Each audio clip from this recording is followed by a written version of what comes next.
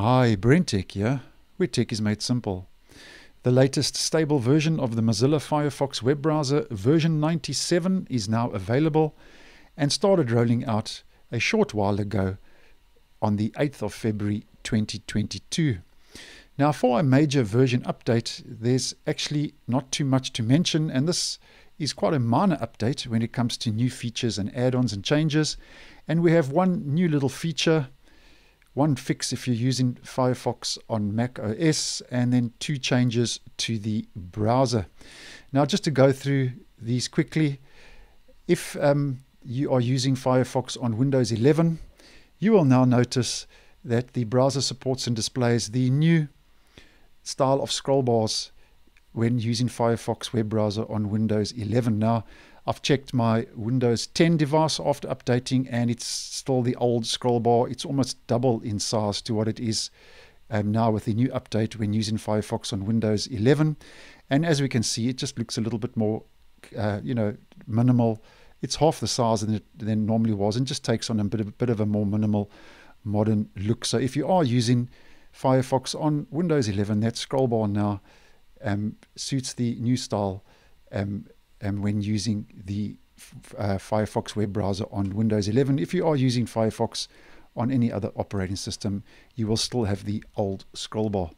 And then on Mac OS, um, Mozilla say they have made improvements to the system font loading, which makes opening and switching to new tabs faster in certain situations. So that's a bit of a performance upgrade for Firefox users on Mac OS.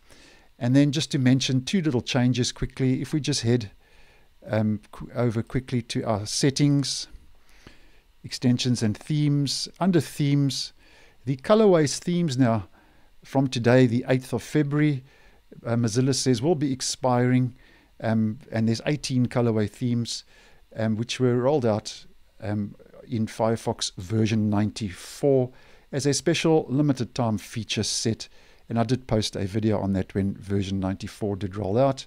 But they say, though, um, you can hold on to your favorite colorway uh, theme as long as you're using it on the expiration date. So, what if you are using a colorways theme um, today on the 8th of February, although the themes are expiring, that theme that you are using, um, if it's enabled in the add ons manager, that colorway theme is yours forever, according to Mozilla in the release notes.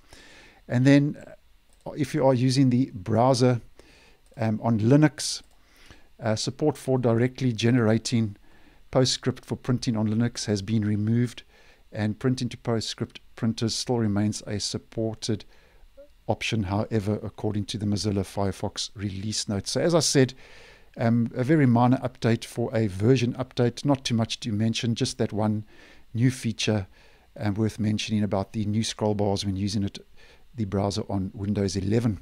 Now, if you'd like to see if you have the latest update, we just head up to the menu in the top right, click on Help, About Firefox.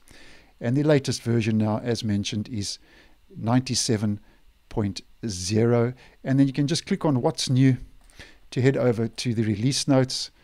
And as you can see, as I've mentioned, not much is going on. And I've mentioned the key highlights in those release notes. And then we get to the various security fixes, which are very important, even if you're not interested in any changes or, or feature updates to the browser. Make sure you're up to date just to get the important security updates. Now, I've counted there are 12 security vulnerabilities that have been addressed with this latest version update to version 97, and four of those are high impact security vulnerabilities that have been addressed. So it's important to check that your browser is up to date to keep you safe and secure when using your Firefox web browser.